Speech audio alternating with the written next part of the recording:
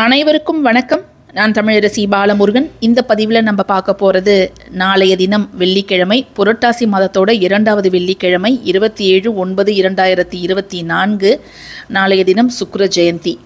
இந்த தினத்தில் நாம் சுக்கரனுக்கு உரிய ஒரு சிறப்பான தீபத்தை ஏற்றி நம்ம நாளைக்கு வழிபாடு செய்ய போகிறோம் அப்படி அந்த தீபம் ஏற்றும் பொழுது நாம் அந்த தீப எண்ணெயில் போட வேண்டிய முக்கியமான ஒரு பொருள் என்ன அப்படிங்கிறது தான் நான் இந்த பதிவில் உங்ககிட்ட பகிர்ந்துக்க போகிறேன் கிரகங்கள் வந்து ஒன்பது கிரகங்கள் அதில் ராகு கேது அப்படிங்கிறது நிழல் கிரகங்கள் அல்லது சாயா கிரகங்கள் அப்படின்னு நம்ம அழைப்போம்.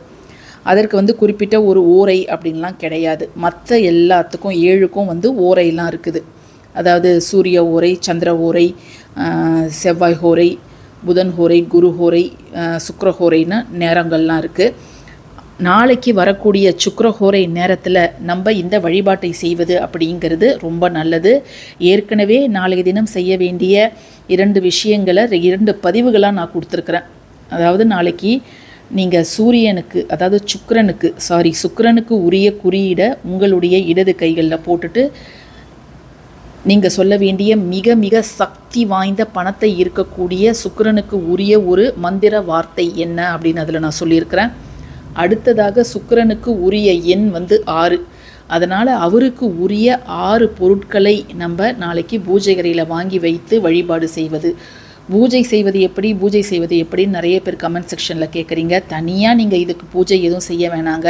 வெள்ளிக்கிழமை நீங்கள் ஆஸ் யூஷுவல் செய்யக்கூடிய பூஜை மாதிரியே தான் செய்யணும். கூட இந்த பொருள்களை வந்து நீங்கள் அதுக்கு பக்கத்தில் வைங்க. இப்போ நம்ம சொல்லக்கூடிய தீபத்தை யாருக்கெல்லாம் முடியுதோ வாய்ப்பு இருக்குதோ அவங்க வந்து ஏற்றி வைங்க. தனியாக ஸ்பெஷல் பூஜை அப்படின்லாம் எதுவுமே கிடையாதுங்க.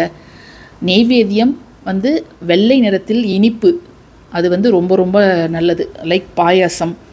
இல்லை வந்து பால்கோவா இதை மாதிரியான நெய்வேத்தியங்களை நாளைக்கு நீங்கள் வைக்கலாம். ஏன்னா சுக்கரனுக்கு உரிய நிறம் வெள்ளை.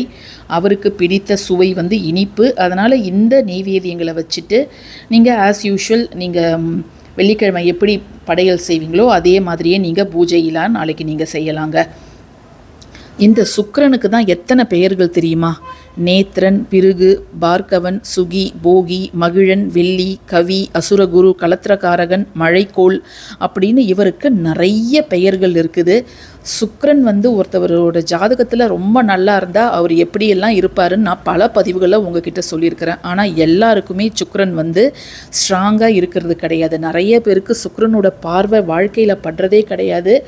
அப்படி சுக்ரன் இருந்தாலும் அவர் ஏதாவது பாவ கிரகங்களோடு சேர்ந்து இருப்பார். அதனால் அவர் கொடுக்கக்கூடிய நல்ல பலன்கள் அந்த குறிப்பிட்ட நபருக்கு கிடைக்காது. அவங்கெல்லாம் வாழ்நாள் முழுவதும் எந்தவித சுகபோகத்தையும் அவங்களால அனுபவிக்க முடியாது. அவங்களுக்கு மனசில் ஆசை இருக்கும்.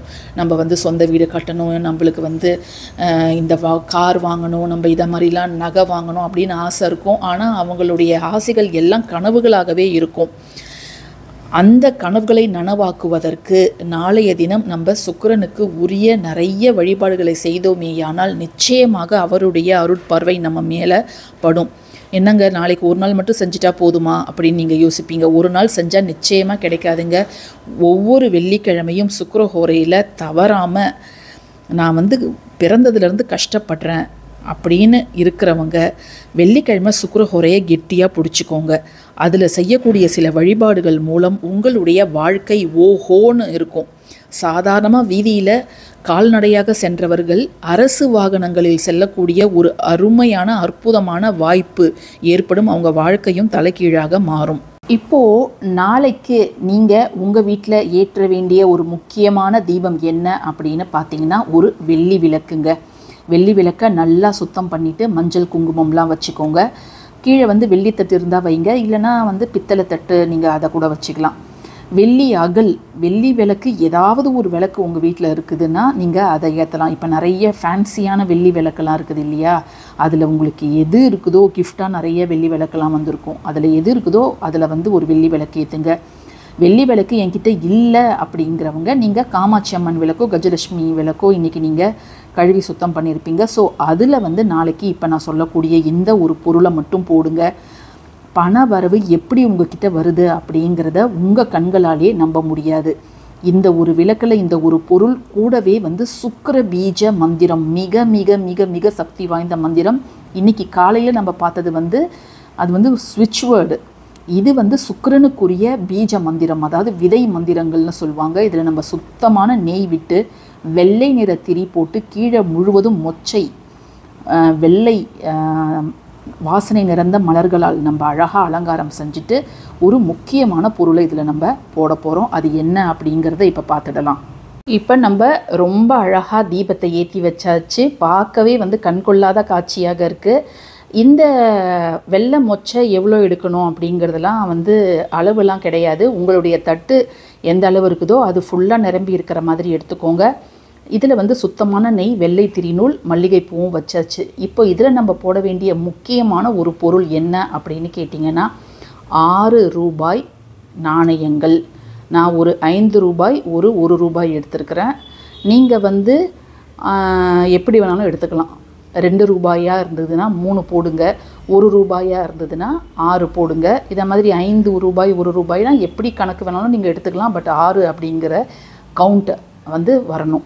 இதை வந்து ஜஸ்ட்டு இந்த நெய்யிலே வந்து நம்ம போட்டுடலாம். இந்த நெய்யிலே போட்டுடணும்.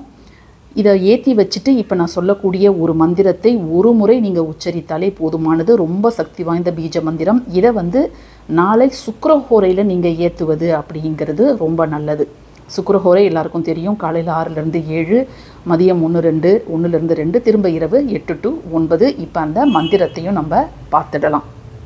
இப்போது அந்த தீபத்தை நீங்கள் வந்து ஏற்றி வச்சுட்டு தீபம் வந்து வடக்கோ அல்லது கிழக்கு நோக்கியோ இருக்கணும். நீங்கள் வந்து ஒரு தரை விரிப்பு போட்டு அதற்கு மேலே அமருங்க.